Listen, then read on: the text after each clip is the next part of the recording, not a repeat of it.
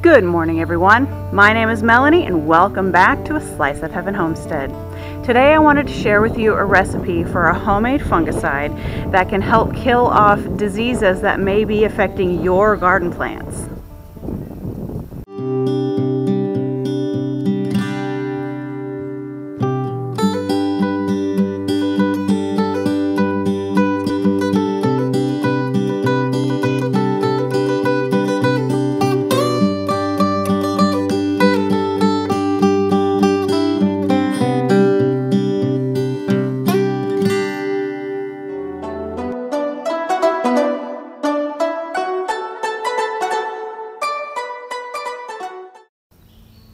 Now there are several methods that you can use to control things like blight, funguses, and powdery mildew. I'm just going to show you one of them, and this one is with baking soda. So I have a few things going on in my garden, like yellowing leaves and brown spots. These are my green beans, and they have been affected here for a couple of weeks, but as time goes on, I'm noticing more and more brown spots and yellowing going up the plant. Now I want to be able to stop this in its tracks so that I can have a good healthy plant. Now over here at my yellow squash, when I flip over the leaves, I am also seeing brown spots, but also what I think is a little bit of fungus underneath this. So my baking soda recipe should take care of both of these problems in my garden. Now I will have all of these ingredients listed in the description below. I have a recipe for a big batch and a small batch. Today I'm going to show you the small batch. So we are going to start with one teaspoon of baking soda, one tablespoon of vegetable oil, a third of a teaspoon of dish soap, and five cups of water.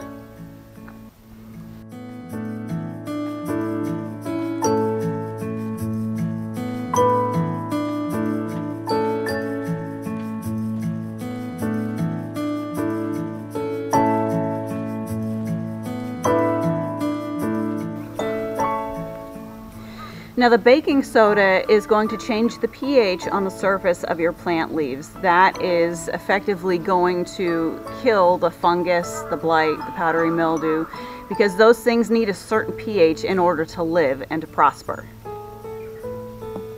The vegetable oil is going to help the solution to kind of stick on to the leaves um, and give that baking soda a chance to work and also the um, soap is going to emulsify the whole thing together because water and oil they don't mix. Um, but the soap mixed in here with it helps those to mix together. And just put it in a clean spray bottle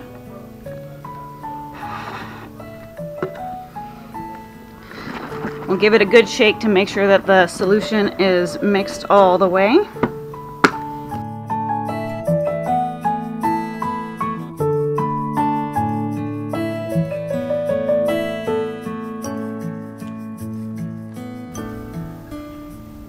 Now when you apply this homemade fungicide, you want to give it a quick shake. Make sure that it is all mixed up because they will separate over time. So just Make sure that they're all mixed up before you spray the leaves. Now you want to spray both the top and on the underside of the leaves.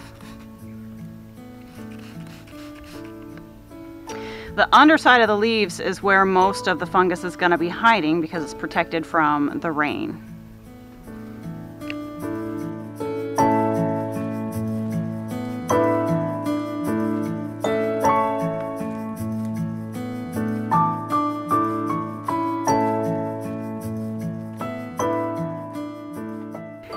Now you can reapply this treatment about once a week. Um, I wouldn't do it any more than that because it might end up hurting your plants more than helping them.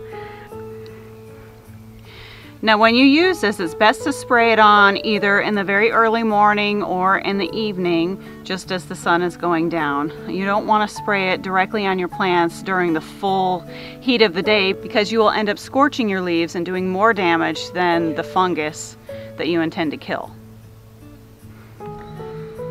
Now for any of the leaves that are already severely damaged by the fungus, blight, or powdery mildew, you want to go ahead and clip those off and remove them so that they don't keep spreading the fungus. Guys, thank you for joining me today. I hope this video was helpful. Spread a little kindness and encourage one another today. If you like this video, please hit that like button and subscribe. And until next time, we hope you find your slice of heaven too.